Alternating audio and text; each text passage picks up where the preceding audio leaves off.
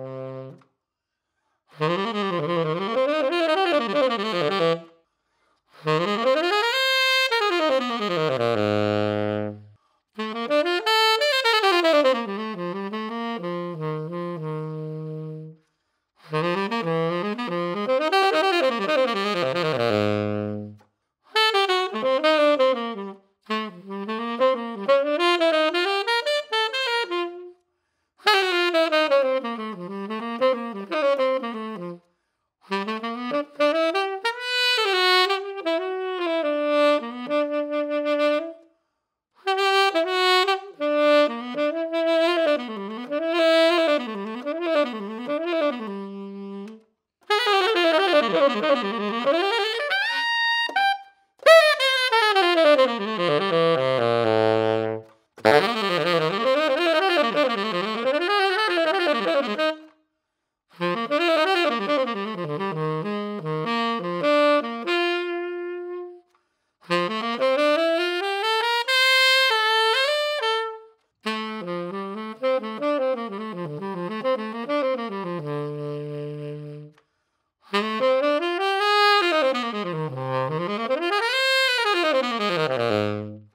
So time to look into the Theo Wanne Durga 3.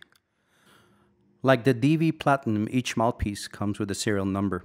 This one is number 19A number 8. This could be a serial number along with a batch number, but I'm not sure.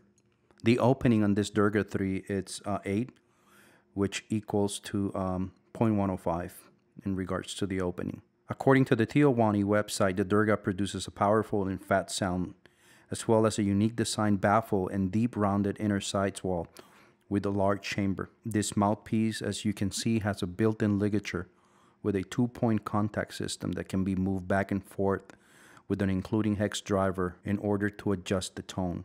In the Theo Wanne website, there are some ligature pressure plates available in different materials that are supposed to affect the sound. I haven't tried those yet.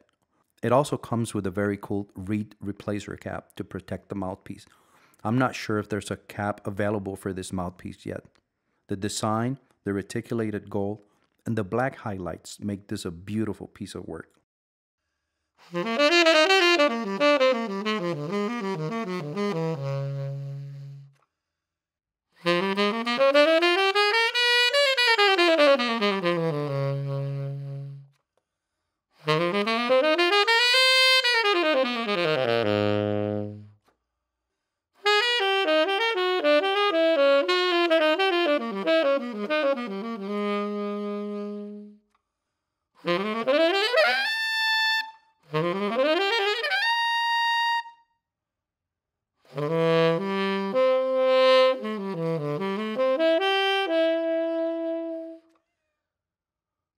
Música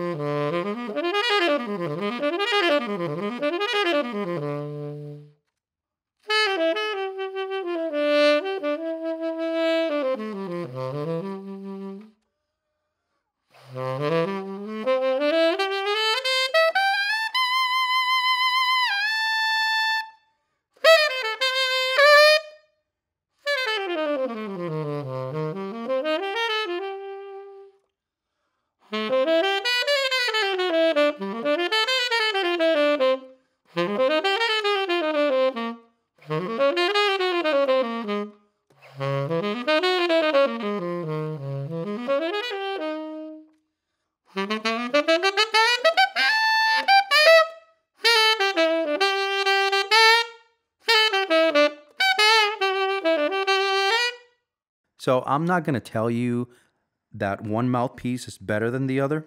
What works for me doesn't mean it works for everybody else. The mouthpiece is a very personal element in your setup and it's affected by many elements such as the reed, the horn, and a lot of factors. But mostly the sound concept that you have in your head has to do a lot with what type of sound you produce. To me, both mouthpieces are great. They're designed and manufactured by mouthpiece icons Theo Wanne and Jody Espina using the latest technologies and decades of research. Both mouthpieces are very free blowing and comfortable. They both produce a nice tone and can be pushed to the limits and make them scream as well. The Durga seems to require a harder reed than what I normally use. I've been playing the same mouthpiece for 20 years, so it's hard just to try this metal mouthpiece out of nowhere and just have complete control over it. Again, I'm not a mouthpiece expert, so feel free to leave any comments, any suggestions. Thank you guys.